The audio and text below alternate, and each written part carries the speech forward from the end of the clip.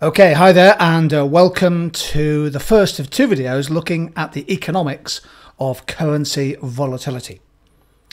Now, currency markets or foreign exchange markets are highly volatile at this time of great economic uncertainty.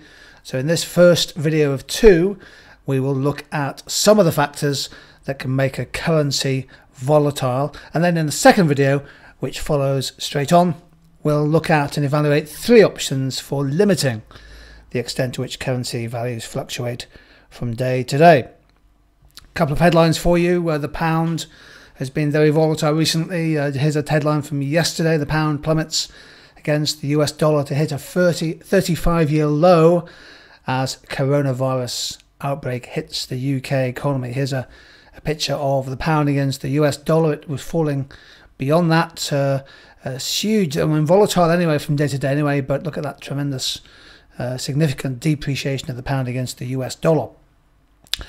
Uh, in Mexico, uh, the peso has been depreciating quickly. Its value has weakened, hitting 24 to the US dollar. The currency has now fallen about 30% compared to its best level this year. And again, this chart uh, from XE shows the value of the Mexican peso against the dollar. Look what's happened since the middle of February uh, 2020. In fact, the peso was pretty much uh, appreciating a little bit against the dollar. It, was, it had risen from 20 peso to the dollar to about 18 uh, over the autumn months into 2020. But since then, uh, uh, one peso, sorry, one dollar can now buy over 24 peso compared to 18. In other words, the peso has fallen, depreciated by more than 30%. How much further can it move? So we have here two examples of currency volatility.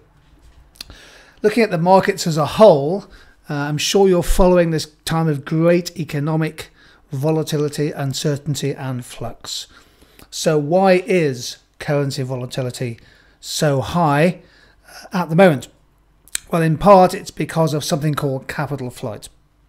Times of great uncertainty, investors tend to flee towards safer assets. So, they may well be um, trying to liquidize uh, assets of countries where there are deep economic, perhaps political fears, and shifting their money, for example, out of sterling and out of the Mexican peso towards US dollars, or perhaps Japanese yen, or perhaps even uh, the euro or the Swiss franc.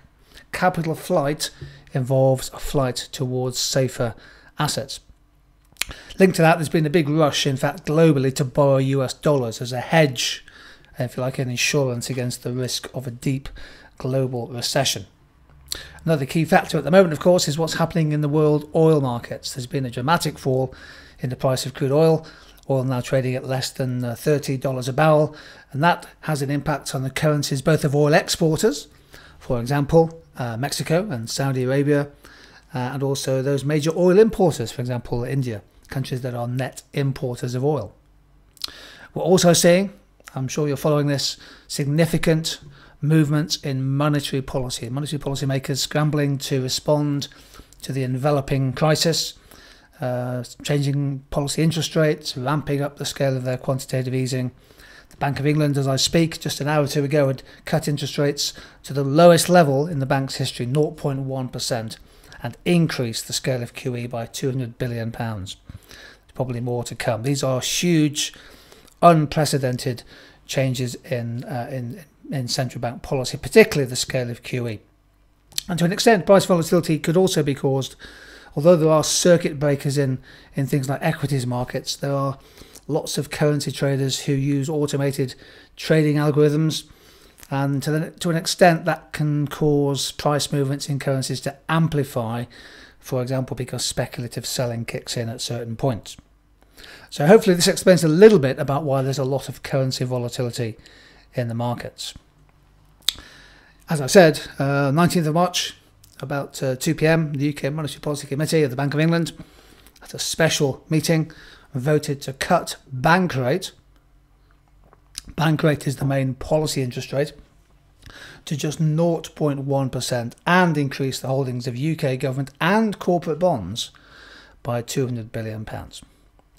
Now, normally a cut in interest rates uh, would cause the UK sterling exchange rate to depreciate.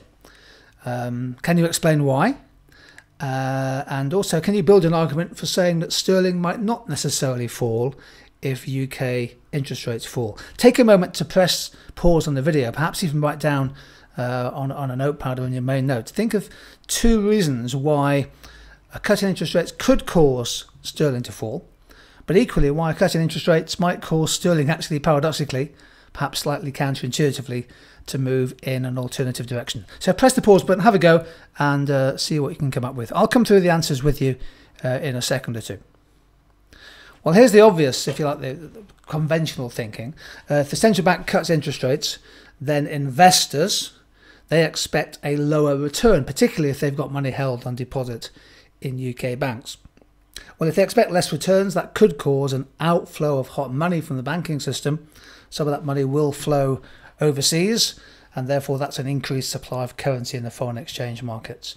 And other things being the same, that could lead to a depreciation of sterling. However, it's not necessarily the case. A fall in interest rates doesn't necessarily automatically uh, cause a currency to fall. Here's another scenario for you. Central bank cuts interest rates as before. This is then seen by market participants as necessary uh, uh, if you like, an inevitable, a necessary, perhaps insufficient, but a necessary move to avoid a depression. Uh, cheaper loans, a fall in the cost of mortgages help support households, of course, assuming that commercial banks and lenders pass on those rate cuts to, to mortgage holders. Uh, if households are better supported, there's less risk to a catastrophic fall in demand and jobs. Therefore, there's less risk to corporate profits and GDP, particularly if, if and when we come out of the crisis.